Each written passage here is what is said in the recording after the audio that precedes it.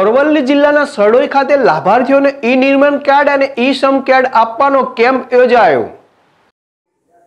ગુજરાત સરકારના labour and employment department અંતર્ગત બાંધકામ ક્ષેત્રે કામ કરતા કારીગરો માટે ઈ નિર્માણ કાર્ડ અને અસંગઠિત ક્ષેત્રના કામદારો માટે e Shram card common service centre CSC મારફતે આપવાની જાહેરાત કરવામાં આવેલી છે.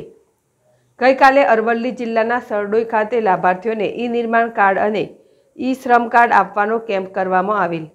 કેમ્પમાં labour commissioner S S Dubey સાહેબ, લેબર ડિપાર્ટમેન્ટમાંથી પથિક પટેલ, સેવન સ્ટાર ટ્રસ્ટના પ્રમુખ જિજ્ઞાબેન સોની, સીએસસી જિલ્લા કોઓર્ડિનેટર અર્પણ બારિયા તથા સરડોઈ ગામના તલાટી અને સરપંચ ઉપસ્થિત રહેલા.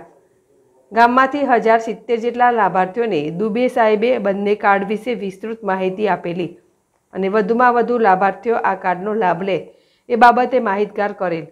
ઉપસ્થિત અધિકારીઓ દ્વારા લાભાર્થીઓને કાર્ડનું વિતરણ પણ કરવામાં આવેલું.